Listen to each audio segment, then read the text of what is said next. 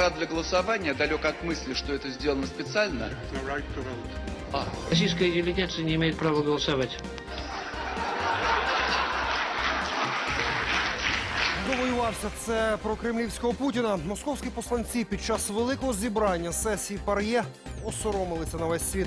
Очільник російської делегації почав голосно обурюватися, що в ньому, мовляв, не працює апарат для голосування. Із президії чоловікові доступно розтлумачили, що російська делегація не має права голосу. Реакція делегатів сесії була гучною і красномовною. Ті дипломатичні прояви стали прямим наслідком агресивних військових рухів Кремля на українському сході. Добрий вечір. Це підсумковий спецкор доби. Вуглегірськ у вогні. За півтора десятка кілометрів від Дебальцевого противник пішов у наступ. Танки бойовиків висунулися з боку Єнакієвого. Російським пропагандистам геть дах зірвало. Ему сказали, мне пообещали землю, дома пять рабов. Да, да, да. Замість двох невільників глаголом б'ють обізнані в справі про російські козачки. Українцям за участь у боях кажуть, влада обіцяє шмат землі, будинок та вже по півдесятка рабів на брата. Кабмін розходився не на жарт. За день боїв воїну платитимуть. Президент навіть пообіцяв український солдат буде мати тисячу гривень за бойовий день. знищений танк коштуватиме 48 тисяч преміальних. Ворожий збитий літак більше як 120. У районі Дебальцевського плацдарму нині було справжнє пекло. Зі сторони Єнакієво та Горлівки після шаленої ранкової артпідготовки піхотні підрозділи бойовиків за підтримки панцерників висунулися в наступ на Вуглегірськ. Це буквально за півтора десятка кілометрів на захід від так званого Дебальцевського хреста. Разом із тим, українським артилеристам тепер доводиться стримувати наступальні зазіхання проросійських найманців уздовж усієї лінії зіткнення від Луганська і аж до Приазов'я. Від самого ранку бойовики почали передислоковувати свої основні сили відразу в двох стратегічно важливих напрямках. Перший Маріупольський. Там терористи вкотре намагалися атакувати позиції наших військових. Та артилеристи не лише зупинили вогневий наступ, а й відтіснили найманців. По другому напрямку Дебальцівському ситуація набагато складніша. Там бойовики поливають з градів усі навколишні міста та села, щоб утворити черговий котел. У напрямку Дебальцево із стрілецької зброї, мінометів та артилерії терористи чотири рази завдали вогню по Дебальцево, Луганському, Малоорлівці, Попасному. У МВС заявляють, що під час артилерійських обстрілів Дебальцевого загинуло троє місцевих жителів і ще троє поранені. А вже по обіді колона танків із бойовиками підійшла в притул до Вуглегірська. Намагаючись прорвати оборону, вони почали безперервно гатити по наших військових із танків та важкої артилерії. Бій триває, тож про його перебіг військові поки що мовчать. Йдуть бої. Зараз на даний момент сказати нічого не можу. Ближче до шостої вечора до українських підрозділів у Вуглегірськ дійшла підмога. Волонтери повідомляють, що атаку бронегрупи противника українські воїни зупинили, і нині триває зачистка міста та повернення українських силовиків на ранкові позиції. Бої тривають. Сьогодні бойовики намагалися наступати із боку Бахмутської траси, але танковий бій провалила українська артилерія. В районі населених пункту Жолобок за останні три дні було знищено 10 танків незаконних збройних формувань. Також ворог поніс важкі втрати у живій силі. Але жива сила прибуває на ті позиції, з яких передислоковувалися бойовики.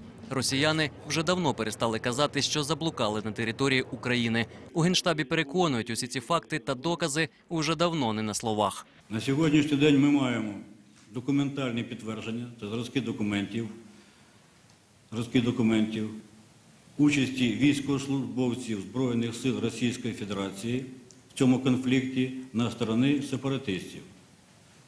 Такі факти дійсно є, і вони документально підтверджені. Ось іще один доказ. 150 регіон на автомобільному номері вказує на те, що прибули вони із Підмосков'я. І ясна річ, не просто в гості. С России. Сейчас мы пойдем в бой. Віталій Фанасієнко, Ігор Бондаренко, спецкор 2+,2. Ні на день не припиняються запеклі бої на найближчій до Донецька українській позиції в районі Пісків. Саме там від середини літа був плацдарм і відправна точка для кіборгів, що захищали Донецький аеропорт. Селище зруйноване майже вщент. Та лінію оборони, поспілкувавшись з українськими воїнами, стверджує Руслан Ярмолюк, наші герої не полишають.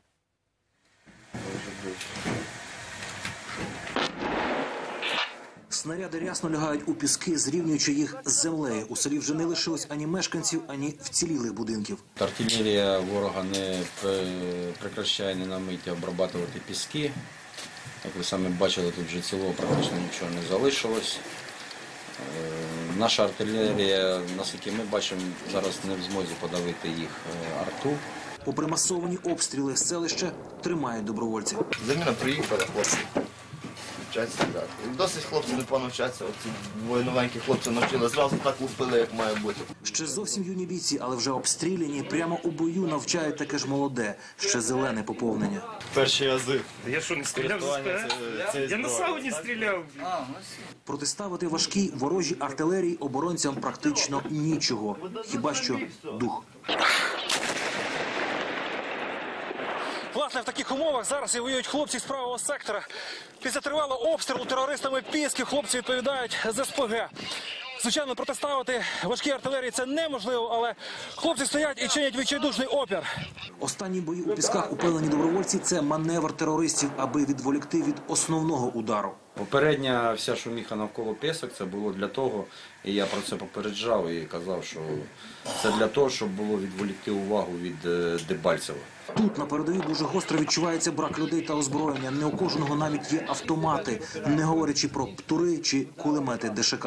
Есть люди, стрелять нечем. Но им оружие не полагается, потому что они не, не милиция, не военные и так далее и тому подобное. Кожну ніч до постів підходять ворожі групи, коригують вогонь мінометів та снайперів. Сьогодні за ніч було е, дві спроби зайти, тобто близько 11-ї вони двічі спробували зайти з двох позицій, були обстріляні відповідно нами. І потім о 4 ранку вони знову повторили цю спробу. Хлопці потребують підкріплення того, що є, надовго не вистачить. Недалеко є колишній оборонний вузол терористів. Його треба займати, а ресурсів явно не вистачає. Тож бійці сподіваються, цього разу високі генерали їх почують. Руслан Ярмолюк, Михайло Путята, Сергій Шпортило, Спецкор 2+,2. Гаряче нині на Луганщині після нетривалої перерви терористи знову гатять артилерію вздовж усієї ділянки передової в секторі А. Є інформація про щонайменше одного загиблого українського бійця в місті Щастя. По обіді голова Луганської області повідомив, що під час евакуації інтернату на Попасну знову впали гради. Обстрілювали нині і станицю Луганську та Трьохізбинку. Наталя Нагорна і її репортаж з передової в Луганській області. Це зовсім свіжа сьогоднішня вирва від САУ. Також тут пристрілюються мінометами та градами. Це дорога на станицю Луганськ до Росії. Тут 7 кілометрів. Окупанти намагаються відрізати цю територію від іншої території України. Бої тривають у сусідньому селі Кондрашівка. Тут, в станиці Луганській, терористи обстрілюють переважно будинки звичайних людей. Селище і так вже давно сидить без світла, води та тепла. Міна або снаряд збиває дерево, місцеві одразу його розтягнуть, пиляють. Тому що холодно. А тут нема ні газу, ні електричества, нічого. Люди хворост, гілки збирають, в ліс ходять, голки гребуть, добичі. Напевно, що саме от мета обстріляти житловий район призвело до того, що це обстріляли саме цю ділянку. Тому що тут мінометний розрив, міномет ліг, а це вже крупнокаліберна артилерія. Воронка от РЗСО «Град». Э, Удар был нанесен по, непосредственно по самому населенному пункту. Місцеві такі неточності російських стрілків виправдовують. Это же не специально, вот это вот, не проштрафиться же ничего. Нечайно, Навіть ховаються від обстрілів не всі. У нас подвалы низкие здесь, здесь вода близко. А толку? Вот я лезу в подвал, ну, посмотрите, дома нет. Меня спасет это? Плачет киска в коридоре, у нее большое горе. Злые люди, бедные киски, не дают украсть сосиски. Це Антошка, йому 6 років. Востаннє з однолітками він грався влітку. Бабуся каже, вивезти його немає змоги. Чего тебе больше всего не хватает? Чего тебе больше всего хочется? Расскажи, Антош. Света. А что ты будешь делать, когда включат свет? Ну, у меня вообще компьютер есть. Вже через 15 хвилин після нашого знайомства з Антошкою терористи примушують шукати укриття. Это весь план. Мины. 120 Навіть в ненадійному на швидкоруч зробленому бліндажі українські воїни сили духу не втрачають. Было очень весело. І так кожну нічку. І в день? З інтервалом, ну так, тиждень, а то ще й ніч, і день, і кожен день. Сепари, приду в Луганськ, у вас западний крест. З Луганщини Наталя Нагорна, Андрій Романок, Станіслав Петренко, спецкор 2+,2. Президент Порошенко мав розмову сьогодні з учасниками тристоронньої контактної групи. На зустрічі спеціальний представник чинного голови ОБСЄ, посол Хай Таявіні, посол Росії в Україні Михайло Зурабов та другий президент України Леонід Кучма обговорювали з головою держави можливі варіанти та сценарії врегулювання ситуації в районі бойових дій у Донецькій та Луганській областях. Порошенко закликав учасників провести консультації з підписантами мінських домовленостей, результатом яких повинно стати конкретне рішення про негайне припинення вогню, відновлення контролю України на кордоні з Росією та звільнення усіх заручників. Житомирщина прощалася сьогодні з капітаном Миколою Жуком, командиром батареї 128-ї гірсько-піхотної бригади. Він загинув у ніч проти неділі під Дебальцевим, де й наразі тривають чи не найзапекліші в зоні АТО бої. Автомобіль, у якому Микола їхав під час спецзавдання, підірвався на фугасі. Капітану було 37 років. У нього залишилася 14-річна донька. Загиблий комбат із родини військових. Провести в останню путь героя зібралося чи не все його рідне село Липники та товариші по службі. Ми хочемо подякувати своєму комбатові, благодаря якому ми зараз тут і стоїмо. Це, це іменно наш тато там був. Не можу.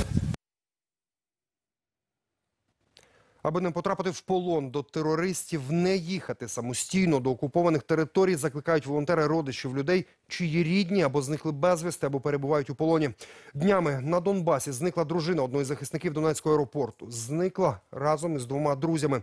Нині, кажуть активісти, бойовики зацікавлені не лише в отриманні викупу, а й у поповненні так званого обмінного фонду.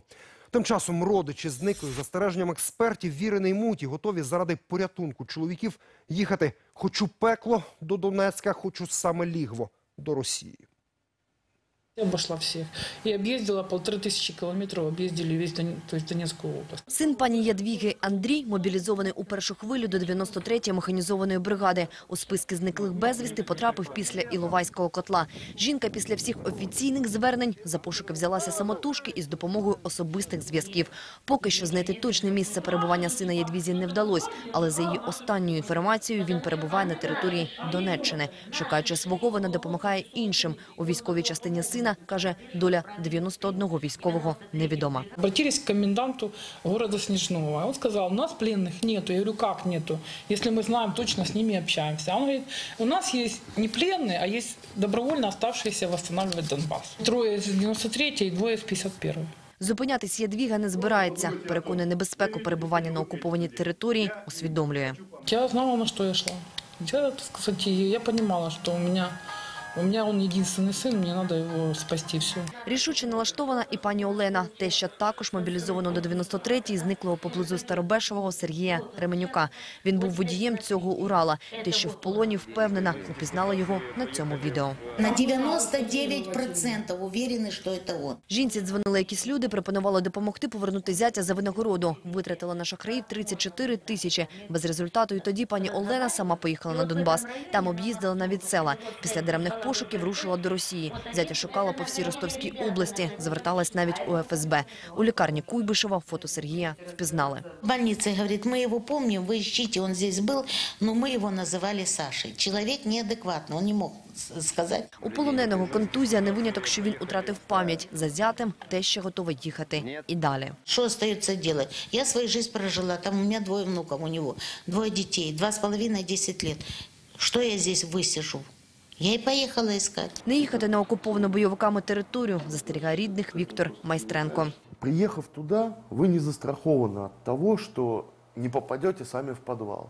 Верить? Верить нельзя. То есть в- у- вот этот вот обменный фонд, вот эти пленные, они нужны террористам. И они будут, э, то есть, в- может там получится небольшой вариант, ну, процент вот, вероятности. Но огромная вероятность того, что вы окажетесь там в подвале, да, Найпевніше у підвалі жінка полоненого кіборга. Він є на цьому відео. Із двома друзями вона виїхала на Донбас. Востаннє сигнал її мобільного зафіксований під Ясиноватою. Зв'язку з ним немає вже чотири доби. І це не перший випадок, каже Віктор. Росіянин, який переїхав до України з родиною, нині шукає полонених і доправляє їм допомогу – ліки, їжу та одяг. За його словами, тепер викуп бойовикам не такий цікавий, як наявність людей, на яких можна виміняти своїх. Чітку кількість бранців на окупованій території назвати важко. За підрахунками Віктора, не менше двох із половиною трьох тисяч і ще півтисячі терористи вивезли до Росії. Ольга Максимова, Валерій Ситюк, Ігор Сірий, Спецкор 2+,2.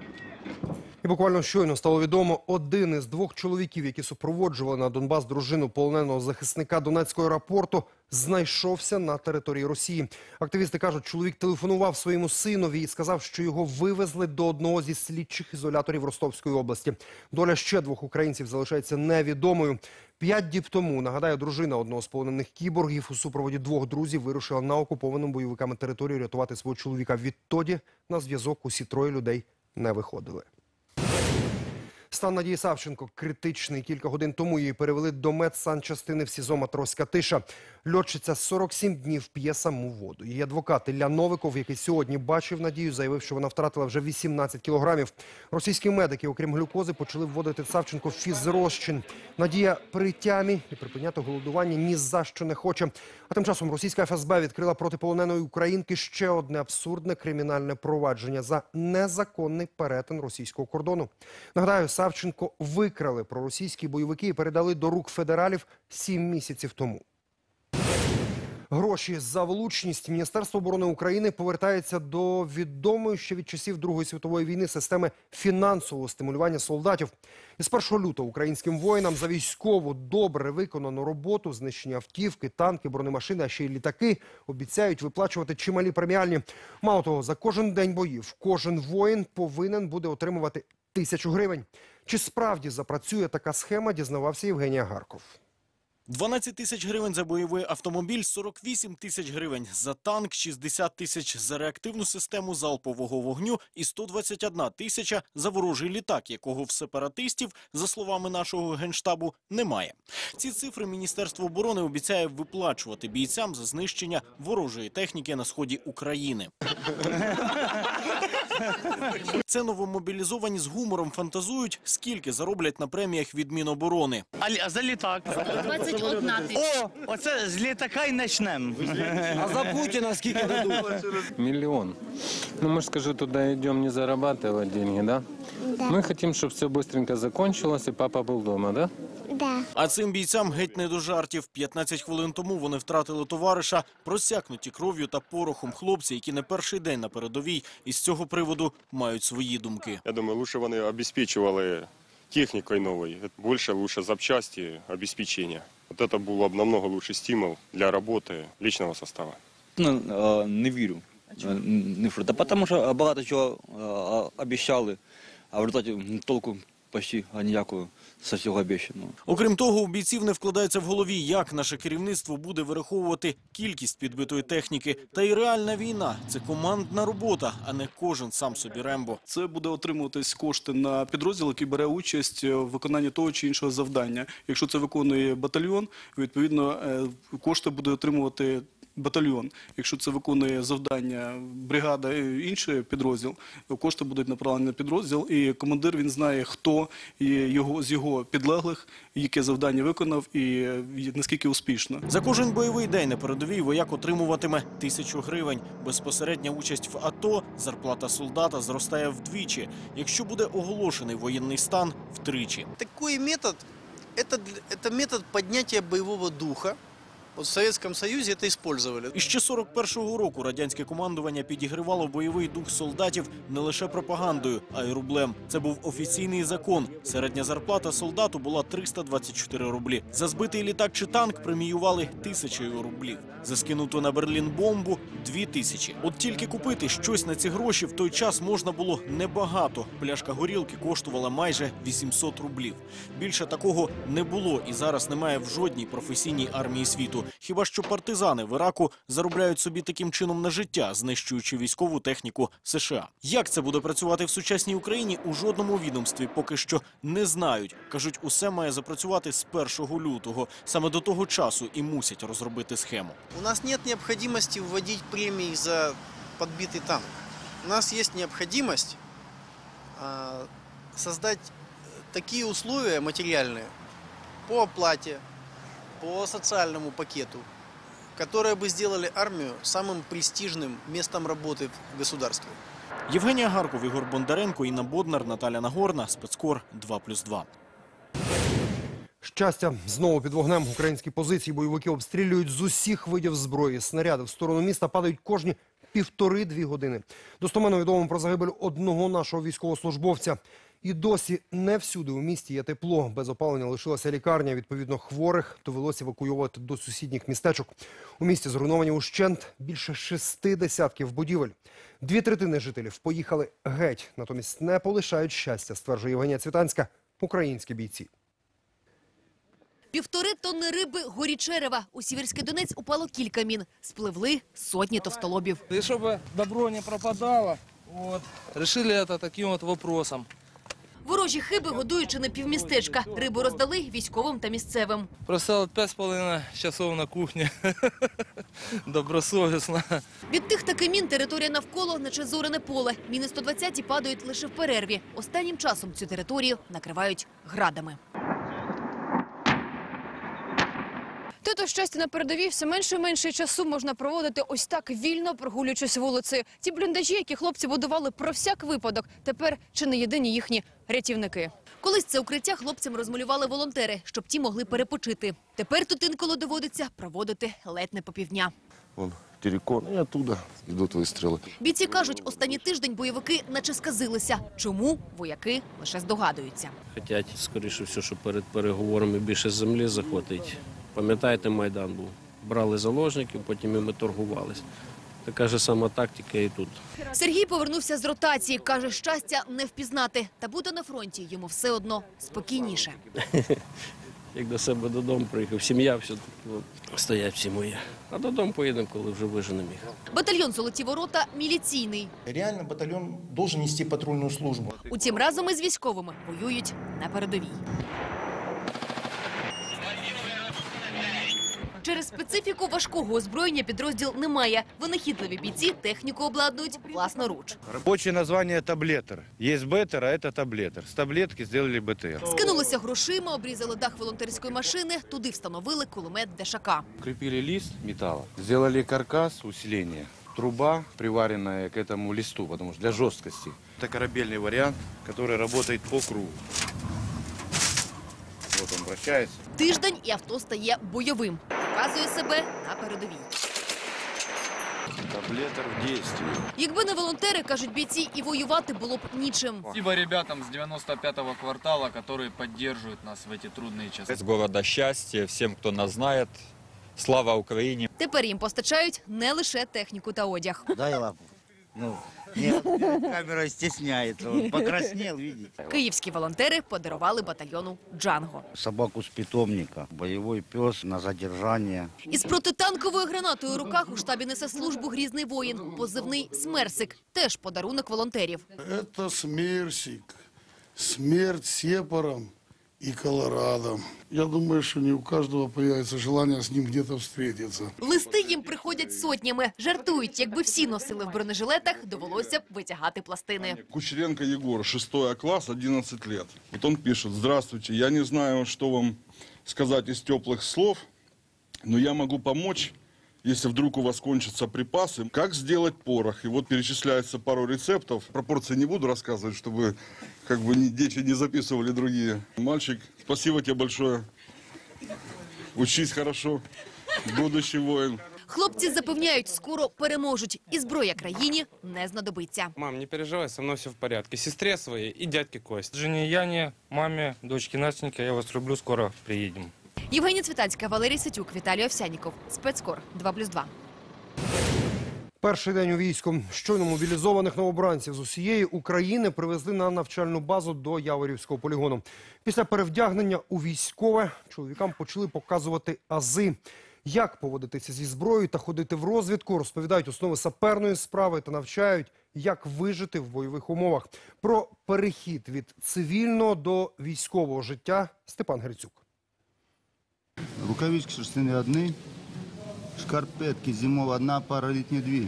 Тепле обмундирування, балаклави, берці, похідні фляги і засоби гігієни. Тут новобранці отримують усе, що необхідно для військової служби. Визнають, на відміну від перших хвиль мобілізації, спорядження цілком нове. Його справді вдосталь. Звичайно, то не є привично так. Бо по житті я, скажімо так, закінчив військову кафедру, але настав такий час, що треба поміняти. Тим більше військова форма, бачите, тепер не така, як на початках, що воювали, не знати в чому. Так що все нормально. Отримавши форму, мобілізовані тут же перевдягаються. Усі вони в минулому військові, тож до нового одягу звикають недовго. Олександр Омельченко – офіцер запасу. Він родом із Черкащини. До армії пішов добровольцем. Вітчизну захищати. Робиться таке страшне. Тим більше я вже в водах я вже не хлопчик, не мальчик. Нам треба старшим воювати, а молоді хай поки. Навчаються, буде заміна нам. Після обмундирування новобранцям дають у руки зброю, автомати, кулемети і навіть гранатомети. Після короткого тренінгу вони мають пригадати основи поводження з ними. Кришка знімається, знімається пружина, затвор знімається і бойок знімається. Потихеньку привикаємо до цього. Особливість цієї хвилі мобілізації інструктори майже усі мають досвід бойових дій у зоні АТО. Щоб відновити знання, мобілізовані мають 26 днів. Тільки після цього їх переведуть із навчального центру у військові частини. Допоки одні мобілізовані переодягаються у казармах, ті, що прибули раніше, уже тренуються на полігоні. І розпізнати у суворих військовослужбовцях колишніх вчителів чи будівельників тепер складно. Перехід від цивільного до військового життя, жартують командири, проходить надзвичайно швидко. І ще одна відмінність: цього разу подбали і про матеріальне забезпечення новобранців. Уже в перший день усі вони отримають банківські картки, а з ними і заробітну плату. Степан Грицюк, Орест Малькут, Львівщина, спецкор 2+,2. У Харкові на хабарів піймали військового комісара Жовтневого району. За даними міліції, військовим брав хабарі за підробку медичної документації, яка давала можливість уникнути мобілізації. Затримали Олексія Романенка у його ж кабінеті просто під час отримання 4 тисяч гривень. Як повідомив міністр внутрішніх справ, це не перший хабар затриманого військома. Загалом, за даними міністра, тариф на уникнення мобілізації у військкоматі Жовтневого району був різним від 400 гривень до 5 тисяч. Як стверджує міністр Аваков, затриманий допрацьовував останні дні і мав виїхати на постійне проживання до Канади, де живе його донька. І ставки зростають уже не два, а цілих п'ять рабів на брата обіцяють нацгвардійцям, які воюють на сході України. Таку новину несамовито між собою нині обговорювали проросійські козачки, які власне і воюють на сході проти українського війська. Місяці зо два тому російське телебачення вже майстрячило сюжетик про те, що українці в зоні АТО нібито воюють за далі дослівна цитата клаптик землі та двох рабів, яких будуть давати за гарну службу. Таке на камеру російським жур- журналістам казали місцеві жителі. І ось нова, не інакше як сенсаційна інформація. У мережі з'явилося відео, на якому між собою розмовляють, розмовляють бойовики, і за їхньою версією, за участь в АТО українським військовим тепер дають більше невільників, цілих півдесятка, а ще будинок на додачу. Спрашивают одного бойца по украинской новости, почему ты пошел воевать на Донбасс? Ему сказали, мне пообещали землю, дома пять рабов. Да, да, да. Вы понимаете, о чем идет речь? Они идут сюда, как говорится, завладеть нашей землей, нашей землей и сделать нас рабами, чтобы мы на них работали. На тому нині ставимо три крапки, але розуміючи, що інформаційне продовження в ефірі на 2 плюс 2 стане менше ніж за добу.